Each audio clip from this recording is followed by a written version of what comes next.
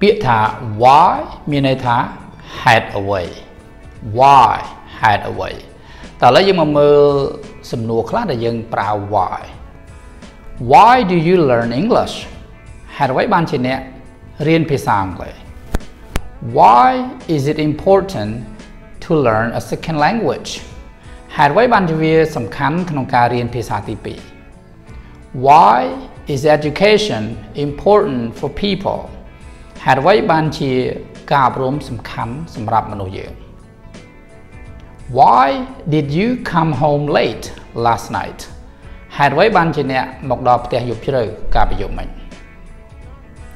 Why do you miss him ហេតុអ្វីបានជាអ្នកនឹកគាត់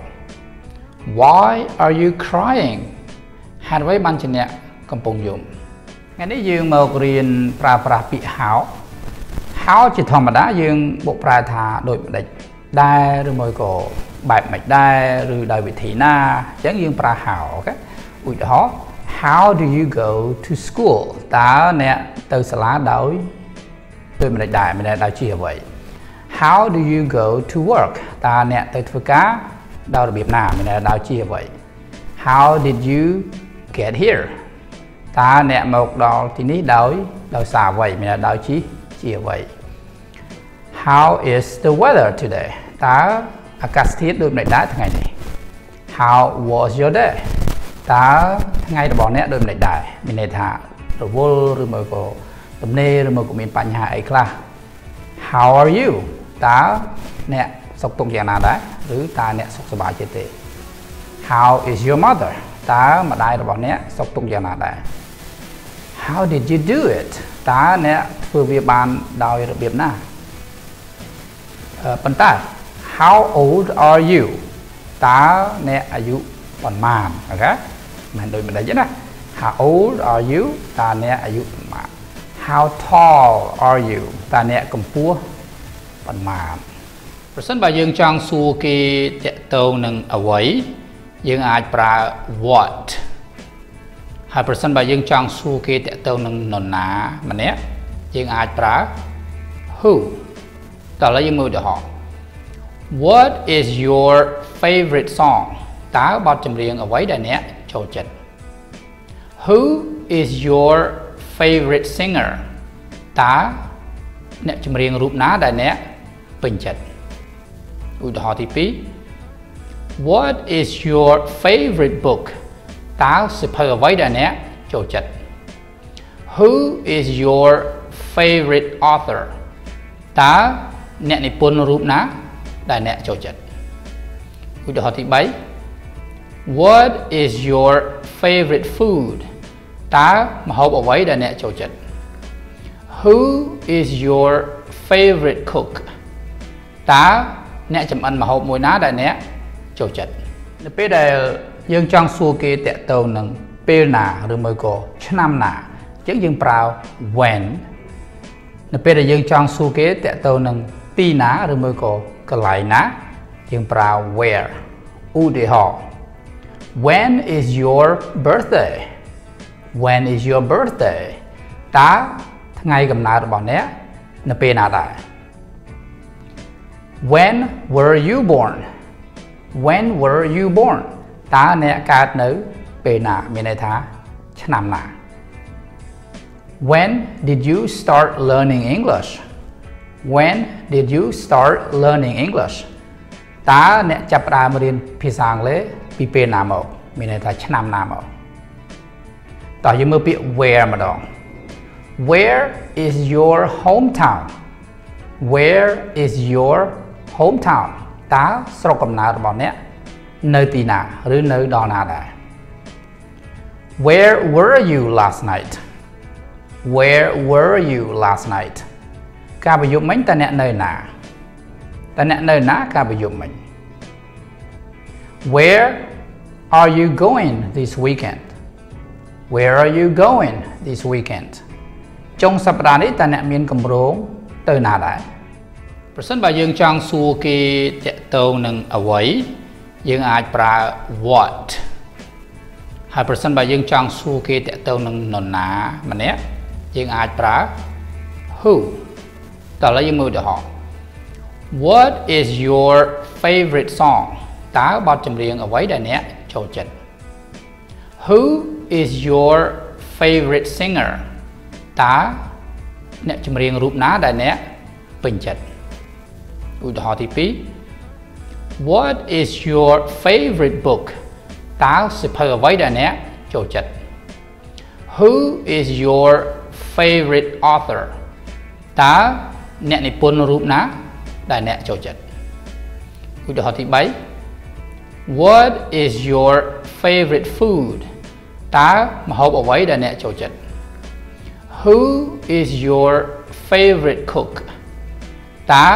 អ្នកចម្អិនម្ហូបមួយណាដែលអ្នកចូលចិត្ត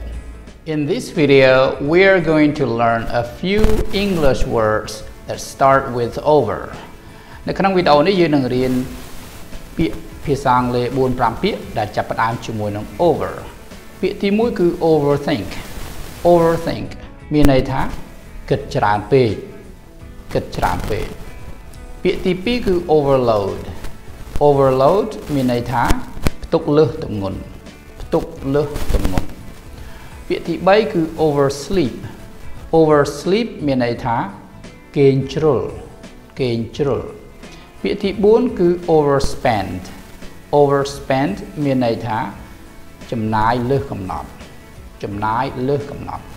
ពាក្យទី5គឺ overhear overhear មានន័យថាឮដោយចៃដន្យឬឮដោយអចេតនាប្រសិនបើអ្នកទាំងអស់គ្នាចង់ផ្ដល់អ្វីមួយទៅឲ្យគេ to offer អូខេអញ្ចឹងផ្ដល់អ្វីមួយឲ្យគេ ជាភាសាអង់គ្លេសយើងអាចប្រើ clear would you like ហើយយើងដាក់អ្វីមួយនោះទៅឧទាហរណ៍ថា would you like a cup of coffee តើអ្នកចង់ញ៉ាំកាហ្វេដែរអត់បើសិនជាចង់ខ្ញុំខ្ញុំធ្វើឲ្យខ្ញុំឆុងឲ្យឬខ្ញុំទិញឲ្យអញ្ចឹងណាយើងចង់ផ្ដល់ឲ្យគេអញ្ចឹងយើងសួរថា would you like a cup of coffee អមួយទៀតយើងអាចសួរថា would you like something to eat តើអ្នកចង់ញ៉ាំអ្វីដែរអត់បើសិនជាចង់ខ្ញុំទិញឲ្យឬខ្ញុំធ្វើឲ្យអញ្ចឹងណាអញ្ចឹងដើម្បីផ្ដល់អ្វីមួយឲ្យគេយើងអាចប្រើ clear would you like ហើយយើងដាក់អ្វីហ្នឹងទៅណា ហើយនៅពេលដែលយើងចង់ស្នើសុំអ្វីគេវិញ យើងអាចប្រើពាក្យ can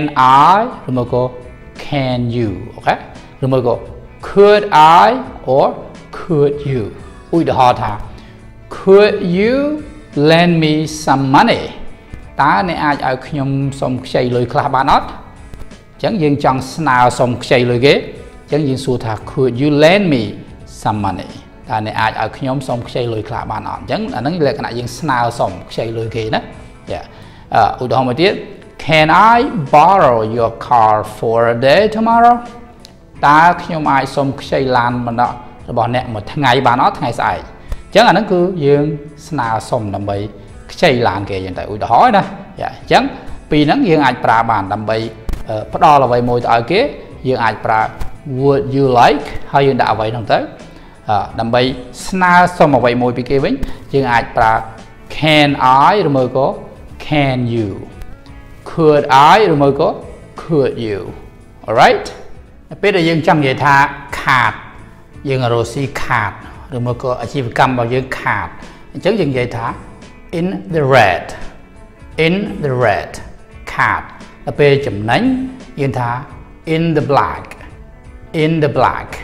ដល់ពេលរួចខ្លួន មិនខាតមិនចំណេញយើងថា break even break even ឧទាហរណ៍ My business is in the red this month អាជីវកម្មរបស់ខ្ញុំខាតក្នុងខែនេះ My business is in the black this month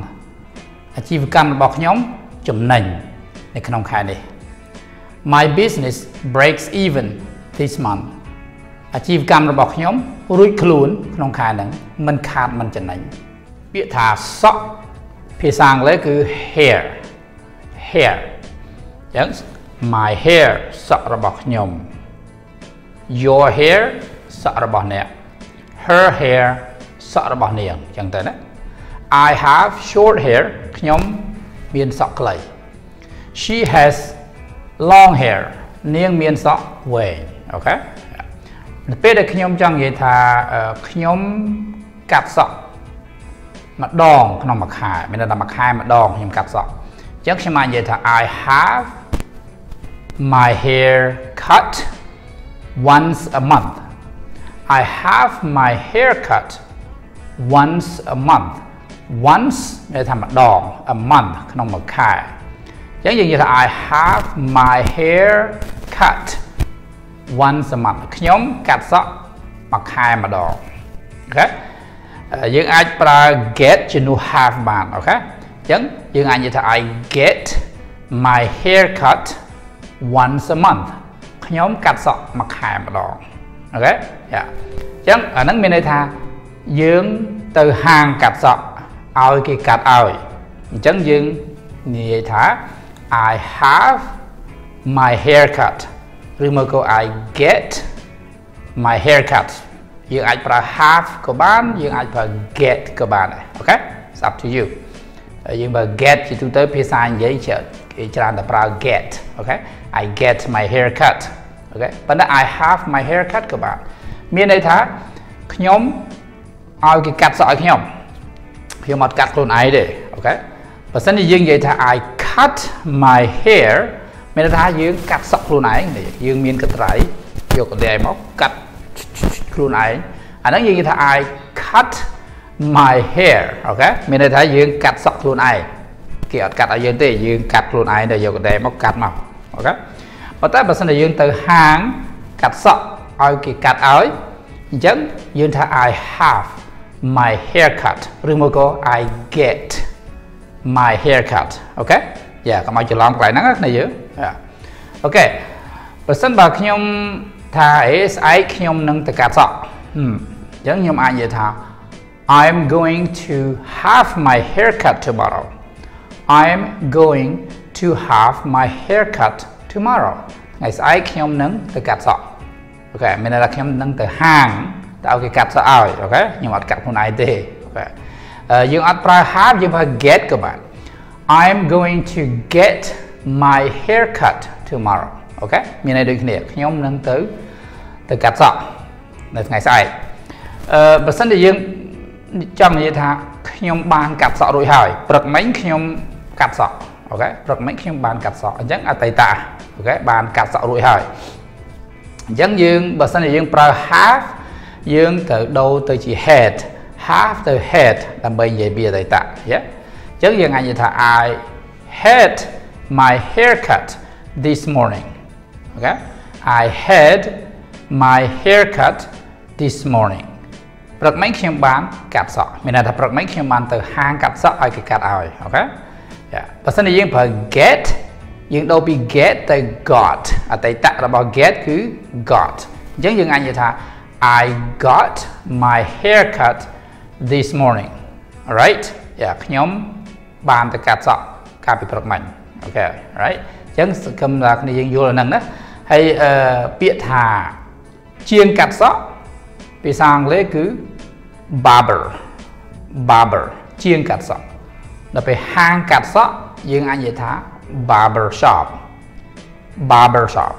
alright អញ្ចឹងសង្ឃឹមថាគ្នាយើងយល់ពីការប្រើប្រាស់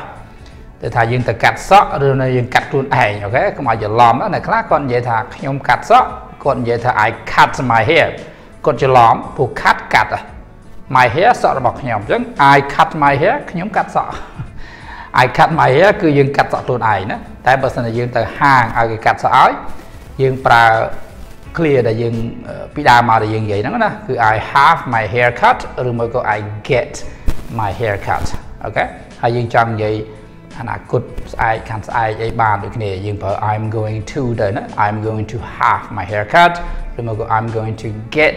my hair cut tomorrow next week អីចឹងទៅហើយបើសិនជាបានកាត់រួចទៅហើយព្រឹកមិញម្សិលមិញអាទិត្យមុនអញ្ចឹងយើងបើយើងប្រើ have យើងប្រើយើងដូរទៅជា had បើយើងប្រើ get យើងដូរទៅជា got អូខេ I had my haircut yesterday អូខេឬមកក៏ I got my haircut yesterday. Yeah? Okay thank you